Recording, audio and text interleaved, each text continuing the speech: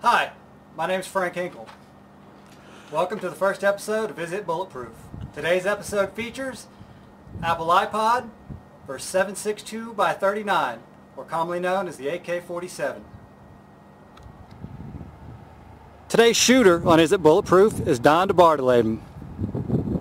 Three.